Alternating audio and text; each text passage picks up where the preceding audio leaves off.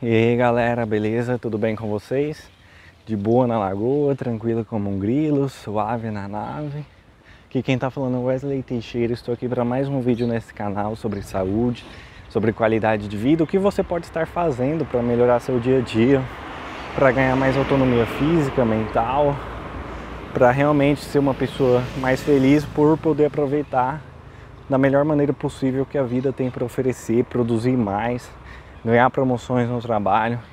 Enfim, há vários estudos já mostrando que as pessoas com estilo de vida mais saudável são as que também têm, em algum grau, os maiores cargos em suas profissões, em suas empresas e assim por diante. São as que produzem mais, porque realmente a partir do momento que você é saudável, que você ganha autonomia física, clareza mental para realmente melhorar cada vez mais, você realmente vai aí conseguir fazer cumprir o seu trabalho da melhor maneira possível. Mas enfim, o assunto hoje é se nós precisamos investir mais em saúde, porque a cada vez que vai chegando a eleição, né, passou algum tempo atrás a eleição de municipais, né, aqui no Brasil e presidenciais em alguns outros países, mas enfim, cada vez que chega as eleições, é, o que as pessoas querem saber é se os políticos vão é, cumprir, né, pelo menos expor suas propostas de melhorar a educação, de melhorar a saúde, de melhorar a segurança, investindo mais né, nessas questões. E aí não importa se você é de esquerda, de direita, de centro ou o que quer que seja o seu partido político. Fato é que o denominador comum de qualquer um é melhorar saúde, educação, segurança e enfim, a diferença é os meios que fazem para atingir isso, para chegar nesse objetivo. Mas eu gostaria de deixar um recado aqui que pode até parecer assustador, polêmico, certeza que é. E é isso, fique até o final do vídeo para ver o que eu tenho a dizer depois você dá seu like ou seu dislike. É, muito se fala que precisa se investir mais em saúde e nos outros aspectos, mas o foco aqui vai ser de saúde porque é o foco do meu canal ensinar sobre saúde. Acontece que não, nós não precisamos mais investir em saúde. O que precisa ver é um investimento em maior conhecimento, em maior educação das pessoas sobre o estilo de vida, é, enfim, maiores estímulos para as pessoas melhorarem sua questão alimentícia, para melhorarem seu estilo de vida em geral, reduzirem aí, eliminarem ou reduzirem ao máximo possível contaminantes específicos que já foram comparados, comprovados como cancerígenos e assim por diante. Enfim, há uma questões de forma de, do governo realocar os recursos que já são investidos para realmente melhorar em geral a saúde populacional, a saúde média da população. E enfim, só para você ter noção, os Estados Unidos é um dos países do mundo que mais gasta com saúde e é um dos países mais doentes e na verdade, se formos ver, analisar ao pé da letra, nenhum país investe em saúde. É raro os recursos que são de fato realocados para a saúde em si. Acontece que a totalidade ou quase a totalidade dos recursos para a área da saúde são destinados para é, o sistema público, para tratar doenças, para desenvolver remédios que é o foco, é tratar doenças, a pessoa ficar dependente do remédio pelo resto da vida. Não é ajudar, em auxiliar a pessoa a desenvolver saúde, conquistar saúde, assim, prevenir contra doenças, né? E claro, tem que ter sim a medicina convencional, aguda, para casos de cirurgias, para doenças específicas.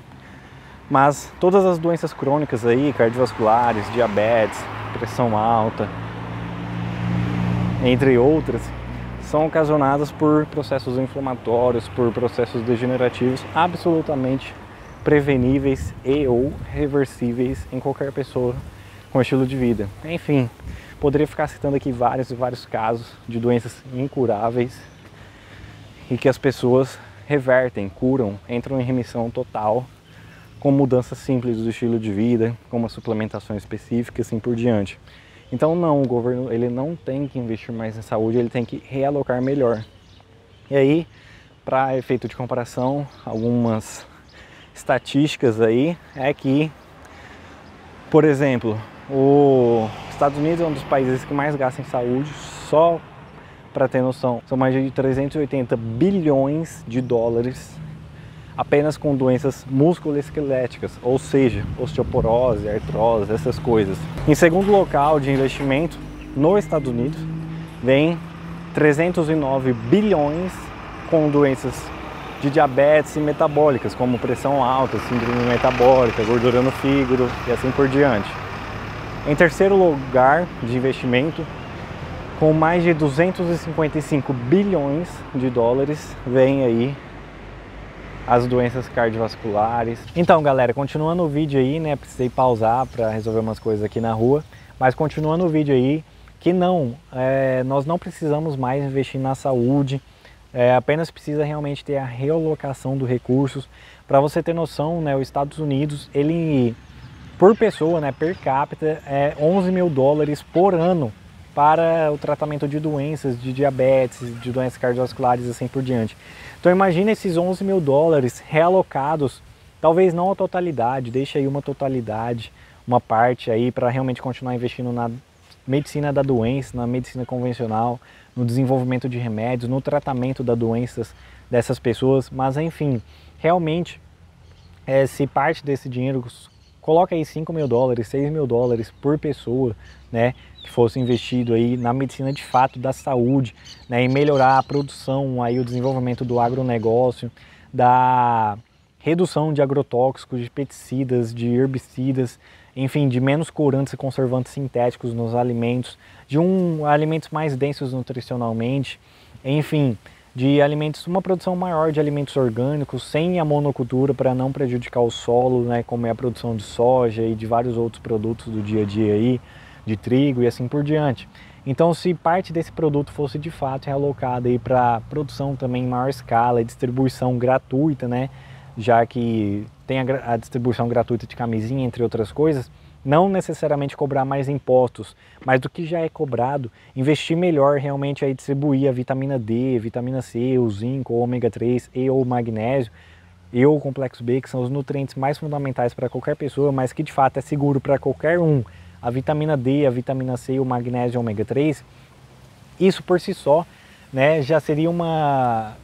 já reduziria drasticamente várias doenças cardiovasculares, várias doenças infecto-contagiosas, gripes, resfriados, epidemia, né, desse tipo de doenças, doenças como diabetes, porque todos esses nutrientes eles contribuem para aumentar a sensibilidade à insulina, né, diminuir a glicemia, prevenir de fato doenças cardiovasculares, entre tantas outras doenças. E claro, as doenças infecto-contagiosas que seriam as mais comuns. Enfim, se esse dinheiro fosse alocado para isso, ainda sobraria para investir ainda mais, sei lá, em mais academias ao ar livre, é, aparelhos né, para as pessoas realmente ter condição, né, as pessoas que não têm condição de pagar academia e assim por diante. Então tudo isso melhoraria em algum grau é, a saúde média da população, da população e aí outra parte se destinaria né, a continuar no desenvolvimento de remédios, de tratamentos de doenças, de cirurgias e assim por diante, e que iria diminuir cada vez mais no médio e longo prazo, né, de fato, por causa da primeira mudança, da primeira realocação de recursos para de fato investir na saúde de fato. Então é isso né, que precisamos, não precisamos de mais investimentos na saúde. Como dito, aí, os Estados Unidos é um dos países que mais gasta com saúde, aí nesse meio tem Suécia, Dinamarca, Noruega e assim por diante, e cada ano que passa os países estão cada vez mais doentes, de fato, por continuar fazendo as mesmas coisas. Como diria Albert Einstein, é insanidade, é loucura você querer colher resultados diferentes fazendo as mesmas ações, praticando as mesmas escolhas. Então, não está funcionando cada ano que passa investir mais em saúde, as pessoas estão mais doentes. Então tinha que, como dito, realocar parte desse recurso para de fato na saúde, para alimentos mais saudáveis, para distribuição gratuita, né, entre aspas, porque o, a pessoa já vai ter pago de imposto né, para o governo. Enfim, realocar para distribuição de nutrientes, né, aí dos mais essenciais, pelo menos, por pessoa aí. É, no próprio Covid agora que estamos passando, já foi demonstrado né, que teve uma cidade no Rio Grande do Sul, Cristal, e entre outras que a prefeita, governador, não me lembro exatamente, distribuiu vitamina D para a população em geral e foi a cidade aí com uma com combate ao Covid-19, com menos restrição de lockdown, essas coisas para não prejudicar a economia. E com um maior grau de prevenção, com menos quantidade de mortes e assim por diante, porque de fato esses nutrientes eles são fundamentais para melhorar o sistema imune. Então basicamente é isso, galera. O Brasil, só para ter exemplo também, ele investe aí mais de 3 bilhões e meio por ano é, com doenças metabólicas, né, diabetes, pressão alta e assim por diante. Então, de fato, também, né, isso funcionaria em qualquer lugar do mundo. Divida aí, né, 50 por, a 50, né, 50% para medicina da doença, 50% para saúde, de fato, para melhorar a produção de alimentos orgânicos, a distribuição de nutrientes, academias, aparelhos ao ar livre, mas aparelhos completos de fato, não esses simples, né, que tem é, realmente que são de fato aparelhos lá com peso igual de academia, né? E claro, né, tem câmera para e um processo ali pra, de segurança mínimo, né, para se alguém quisesse roubar alguma coisa, poder identificar e ir atrás, né? Mas enfim, se realocasse realmente metade, metade, ou que fosse 30%, qualquer coisa em direção à medicina da saúde, já iria melhorando aí no decorrer dos meses do ano a saúde média populacional, também acontecendo já menos epidemia de gripes, resfriados, covid, de doenças infecto-contagiosas, e aí num prazo um pouco maior, diminuindo a quantidade de diabetes, de doenças cardiovasculares, que são aí as que mais é, despendem recursos. E aí que, claro, conforme fosse diminuindo, iria podendo realocar cada vez mais de fato na saúde, até chegar ao ponto que, claro, não haveria perfeição, não haveria, assim, todo mundo com uma qualidade de vida, morrendo com 120 anos dormindo, mas realmente haveria uma melhora significativa. Mas basicamente é isso, galera. Aqui atrás é a entrada do Frei Arnaldo, o estádio aqui da minha cidade, né, o estádio oficial, e que tenho, tinha o um time, né, hoje eu acho que não tenho mais, mas quando eu estudava né, no colegial, meu amigo ele era do time, né, do sub-15, sub-17, digamos assim, tinha o time mais dos mais velhos, e enfim, ele participou de um campeonato lá, eles chegaram na final, e por um gol ou dois gols, acho que no pênalti perderam, foram na semifinal. Talvez eu esteja confundindo, mas enfim, ele se passasse iria participar do Paulistão. E aí, claro, né, se chegasse ali entre os tops, iria do Brasileirão, se eu não estiver enganado, ou Copa do Brasil, não tenho certeza, não entendo profundamente. Mas enfim, imagina Corinthians, Flamengo, Palmeiras vindo jogar aqui, Ilha Solteira, lotando esse estádio. Nossa, seria zica. Hein? Claro que não um estádio top, não tem uma infraestrutura zica, até porque a cidade aqui é de 25 mil habitantes, mas seria louco, hein? Mas enfim, galera, basicamente é esse o recado que eu gostaria de passar, apesar de ser polêmico. É, se você gostou, dê o like, se você não gostou e não concorda, que sim, tem que continuar investindo na saúde, deixa a sua opinião aí, né, e criar um canal de comunicação, de debate saudável aqui, realmente, para realmente podermos evoluir cada vez mais a nossa sociedade de forma direta ou indireta, e claro, melhorando a saúde em geral também, ok? Mas compartilhe esse vídeo com seus amigos, seus familiares, para eles entenderem também que de fato não precisa mais investimentos na saúde, mas sim a melhor realocação desses recursos, ok? Mas é isso aí, galera. Tamo junto. Inscreva-se no canal, aperte o sininho para receber os próximos vídeos, sejam eles polêmicos ou não, sejam dicas de saúde ou não para implementar no seu dia a dia, sejam de conceitos para você fixar o quão importante é a melhoria da saúde. E basicamente é isso, ok? Sucesso uma saúde de excelência para todos nós. Até o próximo vídeo. Falou!